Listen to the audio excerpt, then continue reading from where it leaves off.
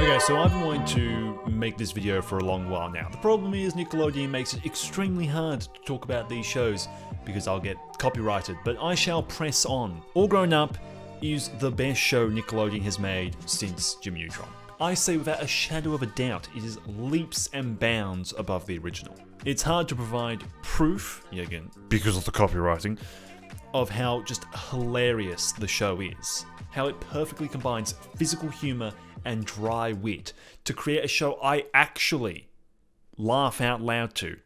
The only shows I laugh out loud to are Top Gear, for whatever reason, and some episodes of Jimmy Neutron. Mostly everything else just gets a snicker or a Yeah, it's funny. This show is absolutely fantastic, and I've never understood the hate this show gets, especially from the fan base, but most importantly, from the creators and voice actors. A lot of the hate, I believe, is attributed to the fact that Nickelodeon more or less replaced Rugrats with this show. That's never a particularly good idea, especially when Rugrats has such a legacy, and replacing it with an extremely different show in the hopes to capture the same audience was just dumb. And just another perfect example of Nickelodeon being absolutely idiotic with their IPs. To that degree, I can understand why people dislike the show. But it's been years now, and I do not believe that argument stands up anymore.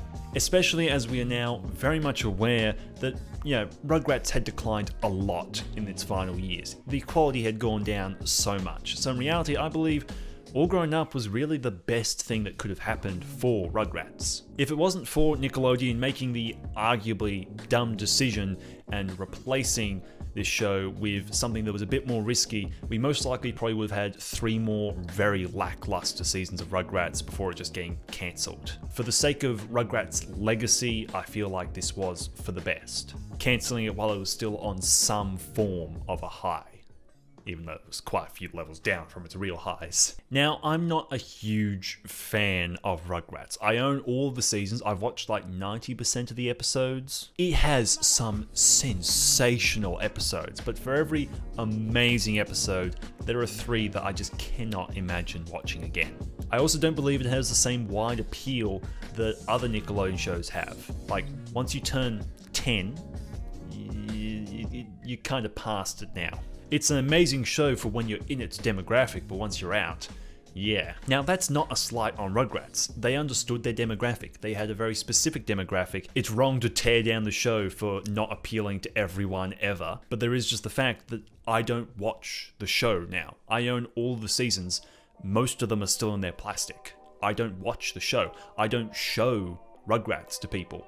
When BJ comes over, I'll show him an episode of Jimmy Neutron. I'll show him an episode of Hey Arnold. I don't show him Rugrats. I don't show anyone Rugrats. It's a good show if you're a fan of it as a kid, but I can't imagine many 20 year olds becoming new fans of it. It doesn't have that appeal. That's the cost of having a very young and small demographic.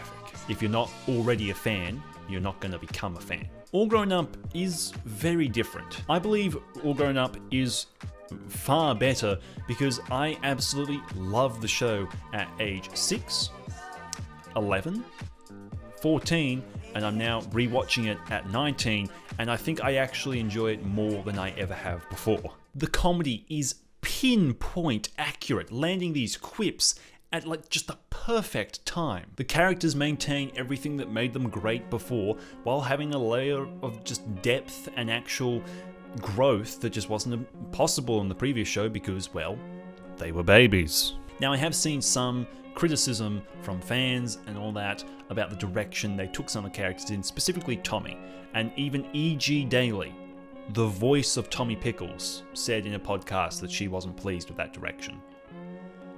I don't understand. I completely disagree. The idea that Tommy should be basically the same character from when he is a baby to when he is like 11 through to 12, I believe, through the, the space of the show, is absurd. It is so stifling to the creativity the show could go in to expect Tommy and all the characters to be exactly the same as they were in the last one. It's a different show. This is the thing that people always mistake. It's not Rugrats All Grown Up. It's all grown up. Yes, these are the same characters, but it's a different show. It's okay for them to go in a different direction. Tommy is loyal, brave, honest, but he also makes mistakes.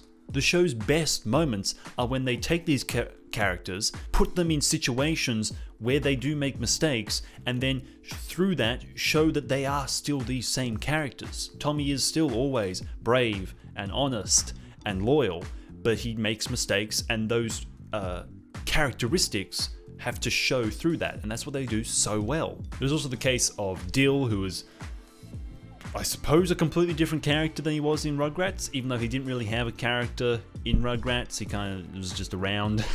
Um, I love Dill in this show. He is fantastic. I love him so much. He's so good. And like, they they did such a great job of making his character strong enough so he could stand up to the other characters as a strong character. These are characters we've known for years, and he can now just slot in perfectly. It's so good. The growth of Angelica, of Susie, all that type of stuff, fantastic. All Grown Up pulls off what the Looney Tunes show did. Taking these characters, pre established characters, and putting them into more or less a sitcom setting and doing it just superbly. It works so well, and having multiple plot lines all going at once through an episode just keeps the show going and it's just and it lets these different characters have different interactions. It's so good. The plot lines aren't, you know, the most creative thing. Yeah, again, it's a sitcom, so you know the plot lines of the stories aren't going to be absolutely insane.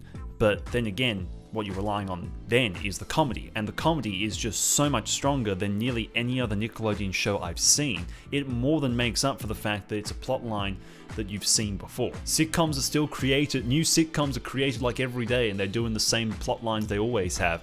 That's not much of a problem for people, but when, oh, All Grown Up does it, whew, whew, that's about everything I was planning on talking about in this video. I want to make this because I get really tired of how accepting so many Nickelodeon fans are of the absolute garbage that Nickelodeon pours out. The past few seasons of SpongeBob, since like season 9, have been basically unwatchable to me. They are awful. Awful. I will soon, someday when I and I build up the uh, the tolerance to be able to like rewatch those episodes. I will make a video, an extremely harsh, extremely long video on how every bloody episode is horrendous. Yet people are just so accepting of that shoddy quality that these shows have. Yet all Grown Up constantly get so much hate when I'd argue it was more or less Nickelodeon's last great show. I'm tired of this show having such a negative reception. So I'm going to start spreading the good word about it. I'm going to be doing five videos, one on every single season of the show, reviewing it, reviewing more or less every episode in it, every season. Because it deserves that. It deserves to have discussion. It deserves to have some criticism. They've got some bad episodes in there. There are some weaker seasons in there. But we will discuss it and we will talk about it because this show deserves to be talked about more. Anyway, thanks for watching. Bye bye. うま